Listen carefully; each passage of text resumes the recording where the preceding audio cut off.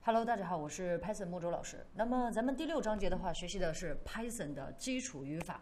那这个基础语法的话，首先了解一下，咱们 Python 的话是一门脚本语言。那这个脚本语的优势呢，是在于它不需要先编译。所以说，我们的 Python 语言呢，它不像 Java 或者是 C 加加语言，需要首先进行一个编译，再进行运行。脚本语言的话，是可以直接读取咱们的文本文件，一边解释一边执行的。那这么去说呢，可能比较抽象。那在这个地方，我们要了解一下 Python 它这样的一个独特的脚本语言，它的一些要点。那要点的话呢，会包括于咱们的面向对象、语法快、注释、续航，包括等等等等其他的。那这个东西的话呢，在老师接下来的课程当中，会一个一个的跟我们的同学把它的一些要点、一些特性，跟我们同学去介绍介绍清楚。那在这个地方的话呢，首先是咱们的一个 Python 的关键字，以及说呢我们的缩进，还有咱们的多行语句。Python 引引号，还有咱们 Python 注释，Python 空格和空行，以及 print 的输出。那这几个章节的话呢，老师都会去讲。这几个点呢，在今天的一个课堂当中呢，来，我们先打开我们的一个编译器。编译器当中的话，我们今天第一小节，我们去了解到的是 Python 的关键字，以及它的缩进语法，还有咱们的多行语句是怎么去写的。那么我们的同学的话，首先关心的第一个是 Python 的关键字。对于我们的 Python 的一个关键字来说的话，咱们的同学。比方说，在老师的一个文件当中，如果说你想要去看到我们的 Python 相关的一个关键字，我们可以在这个地方通过去导入咱们的模块，在这个地方通过 import 关键字，并且的话，在这个地方去写入 keyword 这个模块。我们在这个地方通过 print 的这个指令啊，在这里去操作一下 keyword 模块，点上 key w 咱们 list，这样子去进行操作的时候，当你去运行的时候，你就可以看到了。我们就能够在这个地方去显示出来，咱们所有的 Python 的这个里面呢三十五个这样的一个关键字。这些关键字呢，它是不需要我们的同学去背、去去这个记住的。这些关键字呢，是我们在未来以后的话呢，会接触到的啊。比方说，我刚刚去这个进行这个输出的时候，那么我们的同学能够去看到咱们的 import 这个关键字。这个关键字在这个地方你可以看到它就有，对吗？这个就是我们的话呢，在未来以后会去接触到的，你不需要去死记硬背的。那在这个地方一共是三十五个关键字，这个地方呢，我们同学初步来说进行一个了解就可以了。这就是我们说到的咱们的 Python 的一个关键字。如果说我们的同学需要进行操作的话，那么你就输入这两行的一个咱们的一个语句就行了。这两行语句，那我把它的话呢记录在这个位置，啊，记录在这个地方。这个是我们刚刚同学去了解到的咱们的这两个语句。那另外的话就是缩进了，缩进是什么意思呢？在我们的一个这个程序当中。比方说，咱们的一个同学，你去写相关的这个语句的时候，比如说老师在这个地方写一个 if，if 二大于一啊，打上一个冒号。好，下面一行的话呢，我们可以去输入内容。那一般来说呢，我们同学去输入相关的内容的时候，比如说我们可以跟旁边的这个地方的话呢是齐平的。比如说在这个地方，老师写一下，写一个哎，咱们的一个 print 是输出的意思。比如说在这个地方输出一个啊，输出一个哎，母周老师。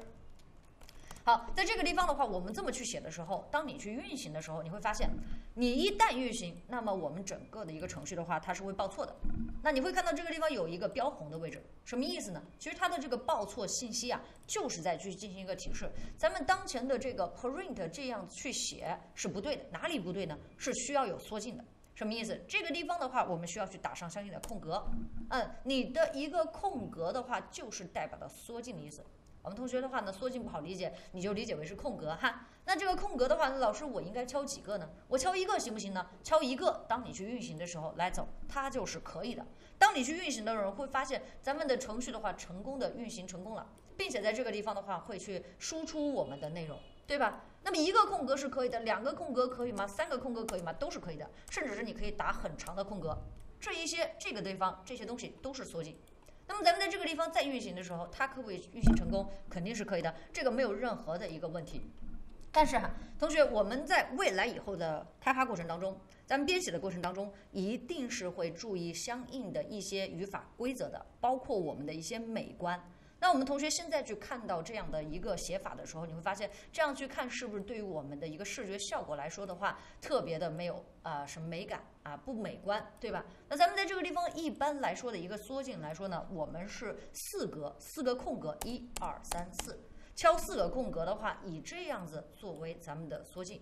那在这个地方的话呢，我们的同学，当我们再运行的时候。来，你就会发现此时此刻啊，老师的这个东西弹出来了，并且我们用到的是四个空格，所以这个东西的话，就是我们会去讲到的缩进了。你可以理解为是咱们的一个空格。缩进是什么呢？老师在这里稍微记录一下，缩进理解为是我们键盘当中的啊空格键啊空格键。那么，并且的话，这个空格键呢，我们的一个嗯比较美观的一个输出的话是四个空格啊四个空格，所以说是这么去写。那么我们在这里再去强调一个点，呃，同学去想，老师，我在这个地方打这个空格的时候，我要打四下，那四下空格的话肯定是比较不方便的。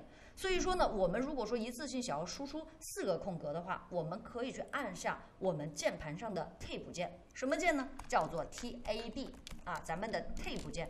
那这个 Tab 键的话，当你按一次的时候，它就是代表的是什么？是咱们的四个空格。所以说呢，我们在这个地方接触到的这四个空格，大家就可以去操作，直接操作这个 Tab 键了。那 Tab 键的话呢，比如说我在这个地方尝试一下，咱们在这个地方点击一下 Tab 键啊，点击一次就是四个空格，点击一次就是四个空格。那这个 Tab 键在哪个地方呢？啊，我们在这个地方呢有给我们的同学去进行一个记录啊，来注意看到这张图。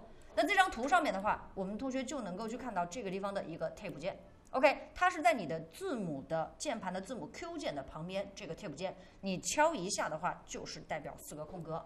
那说到这个地方的话呢，我们刚刚跟同学去说到的，咱们的 Tab 键、咱们的缩进啊，都已经跟大家去讲到了。所以说我们的一个代码当中呢注意要有这样的一个缩进。那有同学肯定会说了，老师，我什么时候该缩进，什么时候不该缩进，我不知道呀，对吧？那这个东西的话呢，在后来我们去学到相对的一些语句的时候，我会格外的去进行一个强调。所以在这个位置当中呢，我们先做一个了解。要知道 Python 当中的话，会有一些语法规则的，好吗？那在这个点上面呢，我们的话呢，缩进就给大家去进行了一个介绍。另外的话呢，我们会接触到一个东西叫多行语句。多行语句是什么意思？咱们在这个地方平前平常去写这些代码的时候，啊，一行语句，比如说老师在这里写一个 a 啊，a 就等于一啊，b 就等于二，哎，c 就等于三。那么这个东西，我们每一行当中的话呢，它是只有一行语句的。那比如说老师在这个地方写一个哎，d d d 啊，等于咱们的 a 加 b 加 c，OK，我把这几个咱们的这个东西去进行一个相加的时候，相加的时候的话呢，那么就 a b c 了。那这样进行相加，这也只是一个单行的语句。那如果说我们的同学老师，我现在在这个地方，我有很多行，那怎么办？很多行的话呢，在这个地方我们就可以哎进行换行了。比如说回车键，当你在这个地方回车键的时候，回车键，那么你会发现我们现在刚刚的一在一行当中的语句就变成了三行的一个显示，一行、两行、三行。那有的同学肯定听到这儿就觉得，老师这也没有必要啊，是不是？呃，但是未来在我们的一个编写的过程当中的话，你会遇到类似这样的一个情况，那么你要知道怎么去做相应的一些处理。在这个地方你变成多行的时候，呃，我们的这个咱们的这个软件呢，它是会给你去进行一个呃自动的一个添加的，你会发现它有个斜杠，这一个斜杠是必须存在的。也就是说，我们由单行语句变成多行语句的时候，咱们的斜杠是必须存在的。那么你在这个地方这么去写之后的话，来，比如说老师呢去输出一下，咱们的 D D D 放到这个地方来打印一下。那么我们去运行的时候，我们就会发现啊，咱们的程序是没有任何的一个问题的。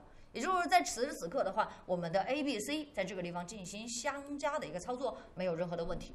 那如果说我们在这个地方，如果说错误的把这个斜杠的话去掉了，没有老师，我的多行语句，刚老师说了，必须要有斜杠。那斜杠如果没有呢？我去掉一个，去掉一个斜杠，哎，你就会发现咱们整个程序当中的话会有这种红色的波浪。